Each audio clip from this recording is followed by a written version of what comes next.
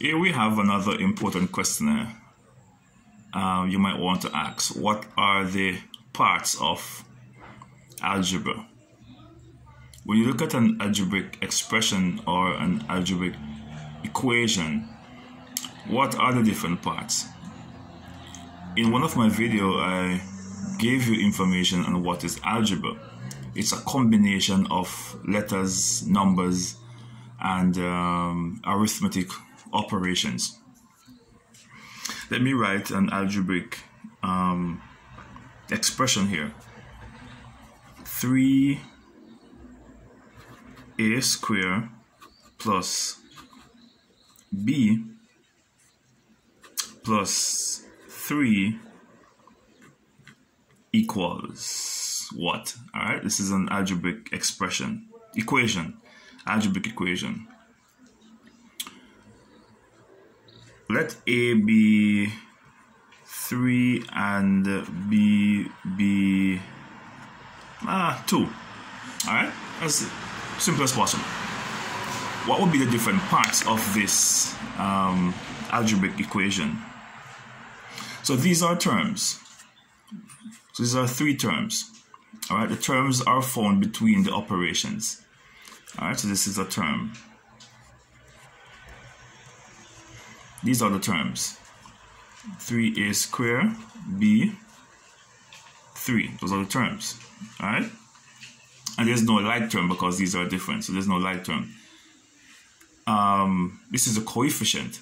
A number which is in front of the variable is the coefficient. So we have the coefficient. Alright?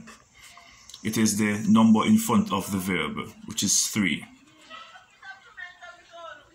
Then we have this up here, which is the exponent or power. Alright?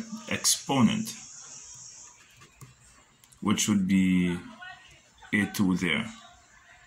Alright? a to the second power. What it is saying is that you should multiply a two times by itself. That's what the exponent is saying. The exponent is indicating to you how many times you should multiply the base number by itself. I will get to that in a short while. Then we have the constant. This by itself with no variable at all is the constant, which would be equal to 3.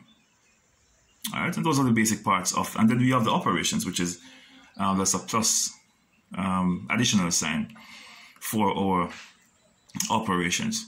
Let's see if we can do this together though before we um, end our time together.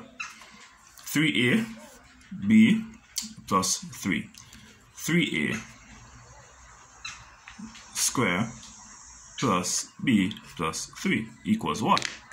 Alright, we say a is what? 3, okay? So we have 3 square plus, and b is what? b is going to be 2, uh, 2 plus 3 equals. Remember I said earlier that the power or exponent indicate how many times you should multiply the base number by itself. In this particular case, we have 3 square. What it is saying is that we should multiply 3 times 3, which will give us 9.